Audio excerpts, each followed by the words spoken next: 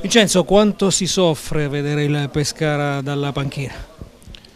Ma eh, si soffre tanto ma soprattutto si soffre perché è una squadra con, eh, con tante qualità che non riusciamo con continuità a mettere in mostra, quindi dobbiamo cercare di, appunto, di tirarle fuori perché abbiamo una rosa che non può permettersi eh, di fare un campionato anonimo. Abbiamo, abbiamo già parlato col mister e tutto e prepariamo adesso la partita di domenica nel migliore dei modi.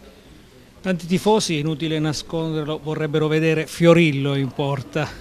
Ma questo mi fa piacere perché vuol dire che sono stato apprezzato come, come ragazzo più che come portiere, che è più importante ancora.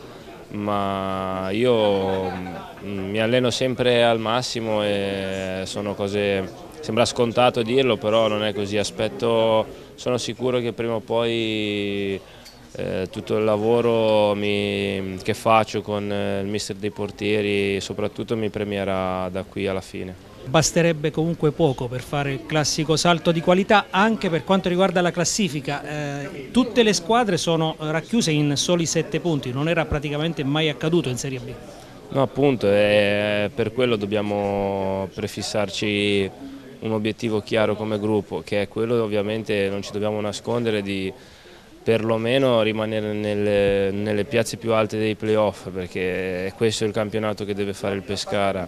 È, è ridicolo girarci attorno e parlare di altre cose perché no, credo che noi tutti vorremmo arrivare a fine anno e provare perlomeno a vincere per l'ennesima volta il campionato per provare a pareggiare almeno l'annata disastrosa che c'è stata l'anno scorso.